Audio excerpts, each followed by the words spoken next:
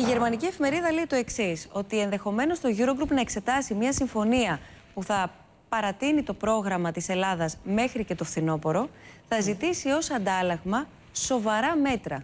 Έτσι τα χαρακτηρίζει ο γερμανικός τύπος. Εσείς έχετε εικόνα, είναι όντως ένα τέτοιο σενάριο στο τραπέζι; Σοβαρά μέτρα σημαίνει κάτι επιπλέον που δεν έχουμε ακούσει μέχρι σήμερα; Κυρία Μπουσδούκου, υπάρχουν διάφορα σενάρια τα οποία ακούγονται και που καθημερινά διαβάζουμε. Το ζητούμενο είναι να μην υπάρχει παράταση της αβεβαιότητας και να μην μπούμε σε ένα πρόγραμμα και σε μέτρα τα οποία θα ε, όπως κάνανε οι προηγούμενες κυβερνήσεις, τα οποία θα δημιουργούσαν ένα ασφικτικό κλαιό στον ελληνικό λαό και την ίδια στιγμή δεν έλυναν το πρόβλημα της ρευστότητας. Mm Εμείς δεν πάμε για μια βραχυπρόθεσμη λύση, γι' αυτόν ακριβώς το λόγο, ε, στο πλαίσιο το οποίο θέλουμε να συμφωνηθεί, εντάσσουμε και το ζήτημα της αναδιάρθρωσης του χρέους, αλλά και το ζήτημα της ανάπτυξης. Δεν συζητάμε δηλαδή μόνο ε, για τα ζητήματα τα οποία έχουν να κάνουν ε, με το εργασιακό, με τα ασφαλιστικά αλλά συζητάμε ε, για το πώς θα συνδυαστεί μια νέα πολιτική στη χώρα, ε, λαμβάνοντας βέβαια υπόψη και την ε, συμφωνία ε, που έχει γίνει με τους δανειστές, αλλά σε κάθε περίπτωση μια συμφωνία η οποία θα λαμβάνει υπόψη της το πρόβλημα το ελληνικό, το οποίο δεν είναι άλλο από το ζήτημα του χρέους. Γιατί όλα τα προηγούμενα χρόνια αντιμετωπίζαν με περικοπές μισθών και συντάξεων, με αποδιάρθρωση των εργασιακών δικαιωμάτων, τα προτείναν αυτά ως λύσεις δήθεν για την αντιμετώπιση αντιμετώπιση του χρέους. Και όχι μόνο αυτό δεν αντιμετώπιζαν. Το χρέος, όπως γνωρίζετε πολύ καλά, εκτινάχθηκε στα μνημονιακά χρόνια. Αλλά την ίδια στιγμή κατέστρεψαν και κάθε εργασιακό δικαίωμα. Μάλιστα. Αυτά θέλουμε λοιπόν να επαναφέρουμε εμείς. Θέλουμε να επαναφέρουμε και τα εργασιακά δικαιώματα μέσα από το νομοσχέδιο ε, για τις για τις, ε, συλλογικές διαπραγματεύσεις ναι. και τη σταδιακή επαναφορά του κατώτατου μισθού. Και την ίδια στιγμή πρέπει να συζητηθεί και συζητιέται με τους ε, δανειστές ένα νέο πλαίσιο και ανάπτυξης και προοπτική για την ε, ρύθμιση του χρέους. Το θέμα εδώ πέρα είναι και με τι διαθέσεις κάθονται στο τραπέζι της συζήτησης οι δανειστές. Διότι κρατώ το τελευταίο που ακούσαμε ε, να λέει χθες ο Υπουργός Οικονομικών, ο Γιάννης Βαρουφάκης, ο οποίος έλεγε, είπε μάλλον μιλώντας, ότι αν βλέπατε τι μου ζητάνε να υπογράψω, θα καταλαβαίνατε κι εσείς ότι το, το ερμηνεύω τώρα, δεν είναι εύκολη η όποια συμφωνία έτσι απλά όπως την απαιτείται. Δηλαδή, τι ζητούν οι δανειστές; Οι δανειστές αυτό που ζητούν βασικά ε, ή τέλος πάντων μια ε, πιο σκληρή πλευρά των δανειστών, γιατί αν το ζητάγανε όλοι δεν θα υπήρχε καν η προοπτική κάποιας λύσης την οποία αναζητούμε αυτή τη στιγμή. Αυτό που ζητάνε λοιπόν η σκληρή κύκλη των δανειστών είναι να εφαρμόσει η σημερινή κυβέρνηση αυτά για τα οποία καταψηφίστηκε η κυβέρνηση Σαμαρά. Ε, κλείνουν τα μάτια στο ότι ο ελληνικός λαός μίλησε στις 25 Γενάρη και αυτό που είπε ήταν ένα ηχηρό όχι στην πολιτική της λιτότητας και αυτό θέλουν να φέρουν από την πίσω πόρτα με την, ε, στην, ε, μέσα από την κυβέρνηση ΣΥΡΙΖΑ και ΑΝΕΛ. Αυτό mm όμως δεν είναι δυνατόν να γίνει. Δεν είναι δυνατόν να γίνει και γιατί θα ήταν ενάντια στις δεσμεύσεις που έχουμε πάρει απέναντι στον ελληνικό λαό, αλλά και γιατί αυτό δεν προσφέρει μια βιώσιμη λύση για τη χώρα. Γιατί αν θεωρούμε βιώσιμο όλο αυτό που έγινε τα προηγούμενα χρόνια, με τις απολύσεις, με τις ελαστικές σχέσεις εργασίας, με την ανεργία, με τη φτώχεια, ε, είδατε για παράδειγμα χτες έχουν φτάσει 240.000 οι αιτήσεις για το πρόγραμμα καταπολέμησης της ανθρωπιστικής κρίσης που ε, ψήφισε η, την ίδια ώρα, η κυβέρνηση. Όμως, Αν λοιπόν συνεχίσουμε με την ίδια πολιτική, ήθελα, τα προβλήματα θα είναι ήδη και χειρότερα. Να, να το βάλω στη συνέχεια στην συζήτησή μας. Την ίδια ώρα όμως διαβάζουμε σήμερα στον τύπο ότι ανακλήθηκε το πρόγραμμα για τους ανέργους. Το πρόγραμμα για, τις 16, για τους 16.000 ανέργους. Τα είχαμε πει και εδώ με την αρμόδια αναπληρώτρια υπουργό, την uh, κυρία Αντωνοπούλου. Λέει ότι ε, στην ανάκληση προγράμματος επιταγής εισόδου voucher, έτσι είχε ονομαστεί, για 16.000 ανέργους 29 έως 64 ετών προχώρησε το Υπουργείο Εργασίας. Κοιτάξτε, δεν ξέρω το συγκεκριμένο πρόγραμμα. Αυτό που μπορώ να σας πω είναι ότι η λύση δεν μπορεί να έρθει μέσα από προσωρινές μορφές, μέσα από ελαστικές μορφές εργασιακών σχέσεων, μέσα από βάουτσερ τετράμινα, όπου νέοι κυρίως άνθρωποι ε, παίρνουν μισθούς εξευτελιστικούς των 300-350 Ναι, σίγουρα. Ευρώ, Απλά επειδή είχε ανακοινωθεί ε, αυτό το πρόγραμμα. Για να, μήπως... για να δοθεί. Δεν ξέρω αν ήταν ε, πρόγραμμα της προηγούμενης κυβέρνησης, όπως επίσης δεν ξέρω για ποιο λόγο δεν προχωράει το συγκεκριμένο. Μάλιστα. Αυτό που πρέπει να δούμε δούμε όμως είναι ένα νέο πλαίσιο για τη δημιουργία θέσεων απασχόλησης. Mm. Γι' αυτόν ακριβώς το λόγο, εμείς στη συμφωνία στην οποία θέλουμε να καταλήξουμε με τους δανειστές, μπαίνει ε, πολύ σκληρά από τη δική μας πλευρά και ένα αναπτυξιακό πρόγραμμα και ένα πρόγραμμα επενδύσεων το οποίο θα στηρίζει την παραγωγική ανασυγκρότηση της χώρας και θα στηρίζει την δημιουργία θέσεων εργασίας. Και αυτές οι θέσεις εργασίας για να μπορούν να. Ε, να μην για να μην ανακυκλώνουν το ζήτημα της ενεργεία, αλλά να μπορούν πραγματικά να το καταπολεμήσουν, θα πρέπει να είναι ε, πλήρους απασχόληση και θα πρέπει όλοι οι εργαζόμενοι σε αυτές να απολαμβάνουν τον εργασιακό τους δικαιωμάτων. Ναι, την ίδια ώρα όμως έρχεται και επιβεβαιώνει ο κ. Ρωμανιάς ότι παγώνει και η 13η σύνταξη. Ενδεχομένως από 16 και αν. Κάτι το οποίο το ακούσαμε ε, να λέγεται και ήρθε και το επιβεβαίωσε. Αυτό που προσπαθεί να κάνει η κυβέρνηση, όπως γνωρίζετε, η 13η σύνταξη δίνεται το Δεκέμβρι. Αυτό που προσπαθεί να κάνει η κυβέρνηση είναι να πετύχει εκείνους τους στόχους για, για τα πρωτογενή πλεονάσματα. Να, να, να πω σε αυτό το σημείο ότι γι' αυτό στη συμφωνία ζητάμε χαμηλά πρωτογενή πλεονάσματα. Και είναι αυτό που φαίνεται είναι ότι σίγουρα σε καμία περίπτωση δεν μπορεί να πάμε στο 3% ε, και στο 4,5% που είχε συμφωνήσει η προηγούμενη κυβέρνηση. Μπορούμε στο 2%. Νομίζω ότι ούτε στο 2% μπορούμε να πάμε. Θα, θα πρέπει ε, φέτος να είμαστε στο 1 με, μέχρι 1,5% για να μπορέσει η οικονομία πραγματικά να να, ανασάνει και για να μπορέσει το, το πρόγραμμα του, της κυβέρνησης να υλοποιηθεί. Οπότε η κυβέρνηση πρέπει να κάνει ό,τι μπορεί για να ε, τηρήσει τη δέσμευσή της και για τη 13η σύνταξη. Πάντως όσο προσπαθεί και ο ίδιος ο Πρωθυπουργός έχει σκύψει πάνω από αυτή την προσπάθεια για επίτευξη συμφωνίας με τους εταίρους, Έχουμε ένα σκηνικό κυρία Βίγκου, το οποίο διαμορφώνεται ως εξής: Για να πάρω τα διάφορα κομμάτια του παζλ και να μας κατατοπίσετε εσείς πού βρισκόμαστε. Έχουμε από τη μία την αντιπολίτευση, για να ξεκινήσω από το εσωτερικό, να λέει ότι λέγατε ψέματα όλο αυτό το διάστημα. Λέγατε ψέματα προεκλογικά, λέγατε ψέματα όλα αυτά τα χρόνια. Βγείτε λοιπόν τώρα στον ελληνικό λαό και πείτε δεν μπορούμε να κάνουμε αυτά που σας λέγαμε ότι θα κάνουμε, διότι βρήκαμε μια πραγματικότητα την οποία στην καλύτερη περίπτωση δεν είχαμε υπολογίσει ότι είναι έτσι. Το κρατάμε στην άκρη. Έχουμε από το εξωτερικό το Σόιμπλες στο παραένα της συνάντησης του Αλέξη Τσίπρα με την Άγγελα Μέρκελ και τον Φρασουά Ολάντ να λέει ότι υπάρχει ο κίνδυνος για χρεοκοπία της Ελλάδας. Και έχουμε εχθές το βράδυ τον Υπουργό Οικονομικών να λέει ότι είμαι τρομοκρατημένος από την κατάσταση της οικονομίας. Ο καταρχήν, ε, να το πάρουμε ένα-ένα. Ο κ. Σόιμπλε ποτέ δεν ήταν από τους πιο φανατικούς υποστηρικτές ε, μιας λύσης ε, η οποία θα είναι υποφελής για την ελληνική πλευρά. Αυτό το έχει δηλώσει με κάθε, σε κάθε τόνο.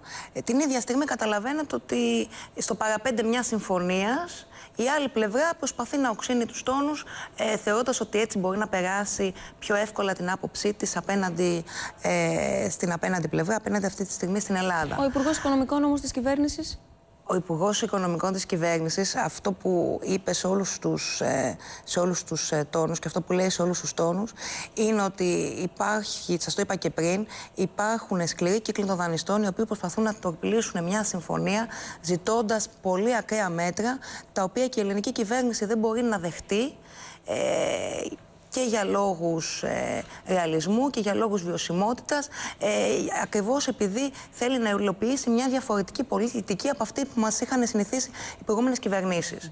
Ε, σε αυτό το σημείο να πω, για να απαντήσω και συνολικά στο ερώτημά σας, ότι εμένα μου προκαλεί τουλάχιστον έκπληξη να βλέπω αυτούς οι οποίοι όλο το προηγούμενο διάστημα παρουσιάζαν ένα success story ε, όπου η Ελλάδα είχε βγει σε ένα ξέφωτο ανάπτυξης, ο κόσμος έβρισκε δουλειές. Ξαφνικά, μέσα σε, ε, από τον πρώτο μήνα της κυβέρνησης ε, ε, του ΣΥΡΙΖΑ, όλα αυτά αλλάξανε. Η πραγματικότητα ήταν ότι κρύβανε την ε, κατάσταση της πραγματικής οικονομίας. Έγινε σχετική συζήτηση και, και γι' αυτό στη Βουλή με τον κύριο Μάρδα και τον κύριο Σταϊκού, αν θυμάστε.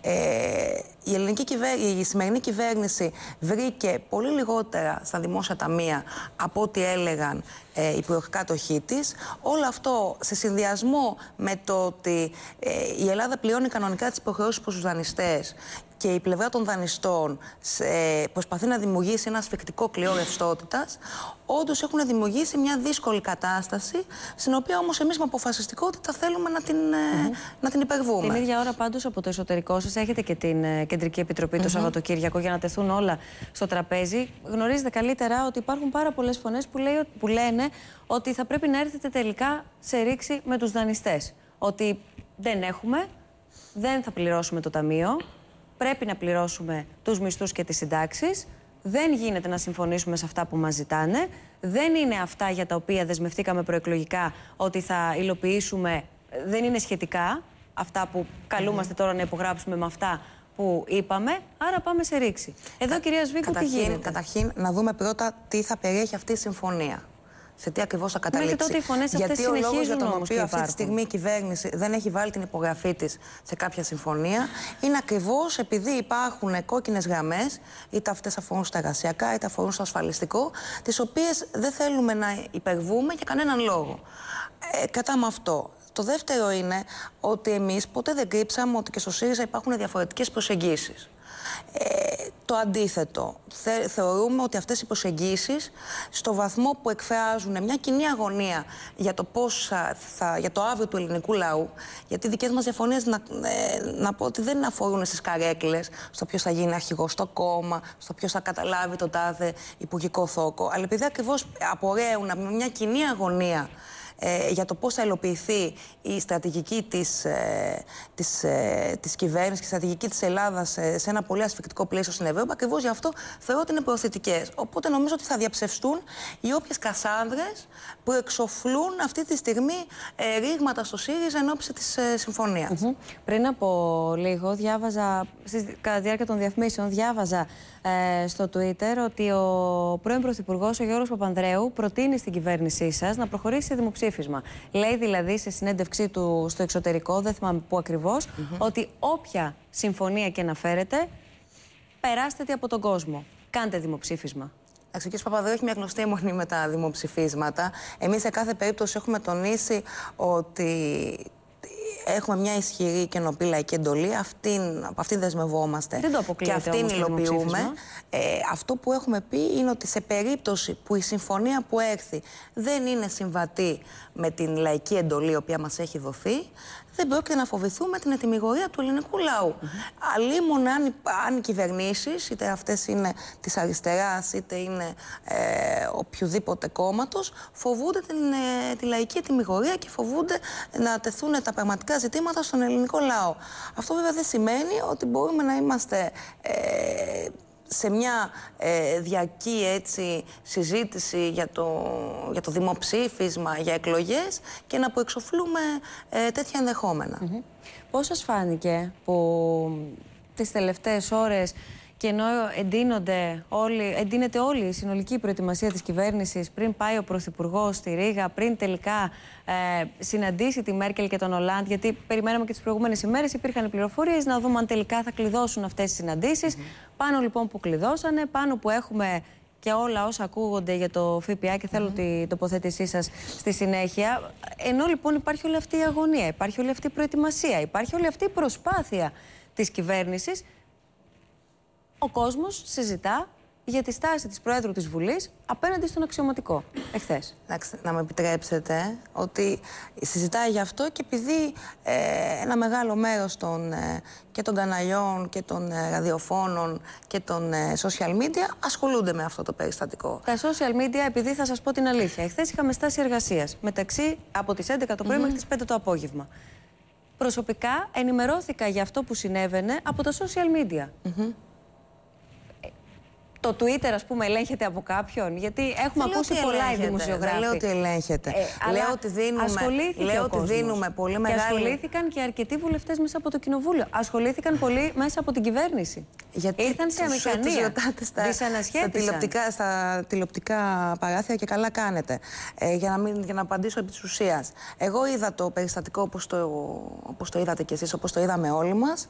Ε, είδα μια ειρηνική πορεία διαδηλωτών να θέλει να συνεχίσει και να πάει στο Υπουργείο Διοικητικής Μεταρρύθμισης και είδα την, ε, την πρόεδρο της Βουλής να ζητάει από τον ε, αστυνομικό για το ποιος έχει δώσει την άδεια για το κλείσιμο. Δεν μου αρέσει η εικόνα του να κλείνονται οι δρόμοι όταν, ε, όταν είναι διαδηλωτές, οι οποίοι Μόνος ε, με δίκαια αιτήματα.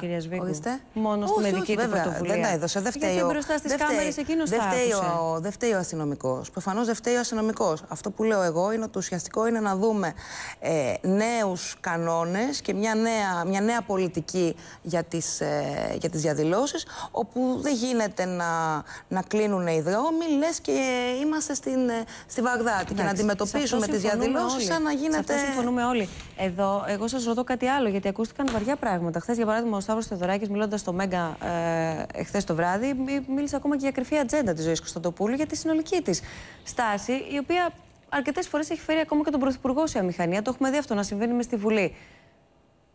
Κοιτάξτε, ε, μην η κυρία Κωνσταντοπούλου από τη μια είναι στέλεχος του ΣΥΡΙΖΑ, από την άλλη είναι πρόεδρος Βουλής και έχει ένα θεσμικό ρόλο ε, τον οποίο, στον οποίο μπορεί να της ασκηθεί κριτική μέσα στο κοινοβούλιο, ε, αλλά αυτό είναι άλλο από περιστατικά ε, που για μένα αγγίζουν και τη σφαίρα της, της παραπολιτικής, όπως για παράδειγμα η γνωστή ιστορία με το βενζινάδικο. Τι θέλω να πω με αυτό, ότι πολλές φορές ε, βλέπουμε μια στοχοποίηση ε, της Προέδρου της Βουλής με έναν τρόπο ο οποίος δεν γίνεται επειδή εξανίσταται ο κ. Φοδωράκης ή, ο, ή, ή από τα άλλα κόμματα για τη συμπεριφορά της, ε, αλλά προσπαθούν να την, ε, μέσα από την Κία Κωνσταντοπούλου να χτυπήσουν το ΣΥΡΙΖΑ. Αυτό όμως συμβαίνει, σας ξαναλέω, και ακούγονται... Ε, υπάρχει αυτή η δυσανασχέτιση και από συναδέλφους σας, από, από, από βουλευτές, από υπουργούς της κυβέρνησης. Η οποία πώς εκφράζεται; Γιατί εγώ αυτό που έχω δει από το, από το πρωί είναι να... Ε, δεν μιλώ για σήμερα, δεν μιλάω για το συγκεκριμένο περιστατικό. Τη, τη γενικότερη αίσθηση μεταφέρω. Και σας λέω ότι η αίσθηση που έχω εγώ, ε, που είμαι στο ΣΥΡΙΖΑ, είναι ότι δεν υπάρχει κανένα θέμα με την Κία Κωνσταντοπούλου. Αυτό που υπάρχει είναι μια συντονισμένη προσπάθεια να φανούν ότι υπάρχει ένα δίθεν ρήγμα μεταξύ mm της ε, Προέδρου και των ε, ηγετικών στελεχών ε, της κυβέρνησης. Τον... Νομίζω πάντως ότι δεν υπάρχει, ε, ότι τέτοια, τέτοια θέματα που πολλές φορές μονοπολούν την, ε, την ατζέντα ε, των ΜΜΕ, ε, νομίζω πολλές φορές τους δίνουμε μεγαλύτερη αξία από ό,τι έχουν. Ειδικά μια τέτοια κρίσιμη στιγμή για τη χώρα, όπως και εσείς είπατε. Για τον ΦΠΑ, πού έχετε καταλήξει, κυρία Σβίγκου, τι κρατάμε; αυτή τη στιγμή οι συζητήσεις γίνονται. Ναι, οι συζητήσεις γίνονται, περιμένουμε. Αλλά το βράδυ της οπότε... Δευτέρας, θα μου επιτρέψετε, συγγνώμη που σας διακόπτω, το βράδυ της Δευτέρας ακούσαμε τον Υπουργό Οικονομικών να ανακοινώνει την πρόταση της ελληνικής πλευράς. Στη συνέχεια, την επόμενη μέρα, ακούσαμε τον Υπουργό Οικονομικών, διαβάσαμε μάλλον στο Twitter, να λέει ότι αυτές οι προτάσει, δεν θα πάμε με αυτές τις προτάσεις, γιατί ακυρώνονται από την Τρόικα Εσωτερικού και βγάζει ο καθένας ό,τι συμπέρασμα θέλει. Και μαθαίνουμε λίγες ώρες αργότερα ότι τελικά δεν το δέχονται απ' έξω αυτό που προτείνουμε. Άρα αντιπροτείνουμε ο κάτι άλλο. είπε ότι υπάρχουν ε, τρία, αν δεν κάνω λάθος, διαφορετικά σχέδια φόρων και αυτή τη στιγμή αυτά συζητιούνται. Το βασικό το οποίο νομίζω πρέπει να κρατήσουμε είναι ότι ο ΦΠΑ, ο οποίος είναι από τη φύση του ένας άδικος φόρος, ο οποίος επιβαρύνει εξίσου τα πιο χαμηλά στρώματα και εξίσου τα πιο ε, υψηλά, θα πρέπει να, η όποια ε, αναδιάταξή του, να, η όποια αναπροσαρμογή του, συγγνώμη, να γίνει με τέτοιο τρόπο που να μην επιβαρύνει τα χαμηλά στρώματα. Γι' αυτό έχει σημασία να δούμε ποιοι συντελεστές θα είναι αφενός και ποια αγαθά ε, εντάσσονται σε κάθε συντελεστή για να μπορέσουμε να, να καταλήξουμε. Σας Αλλά σε κάθε περίπτωση, σε κάθε περίπτωση όμως, το θέμα σε κάθε περίπτωση το πρόβλημα με το ΦΠΑ αφορά κυρίως την εισπραξιμότητά του και επίσης ε, να μην θεωρούμε ότι είναι ε, ρεαλιστικό και αποτελεσματικό να πάμε σε μια αύξηση του ΦΠΑ που αντί να αυξήσει την, ε, τα έσοδα, αντίθετα θα μειώσει την κατανάλωση.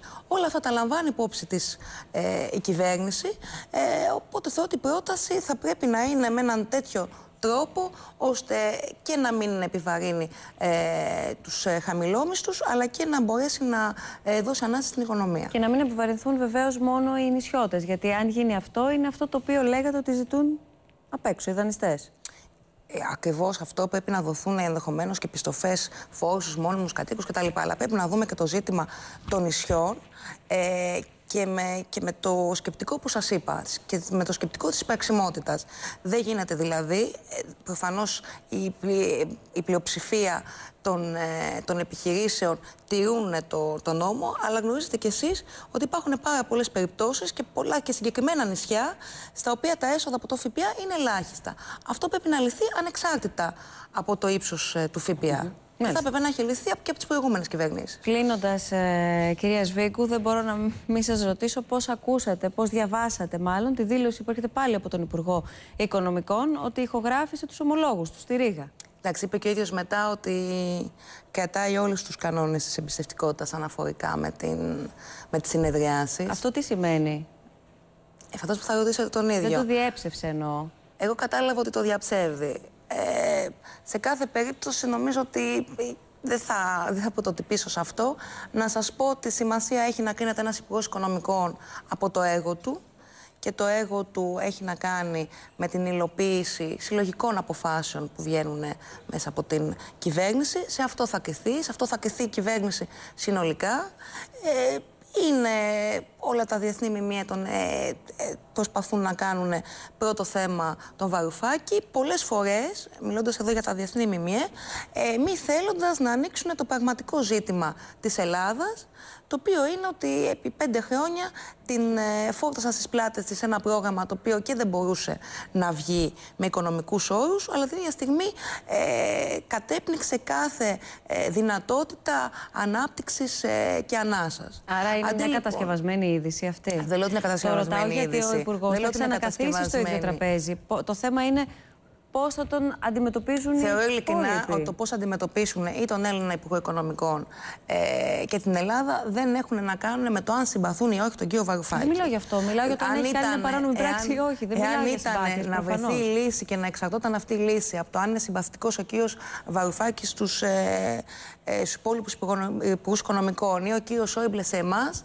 θα ήταν αδύνατη οποιαδήποτε λύση.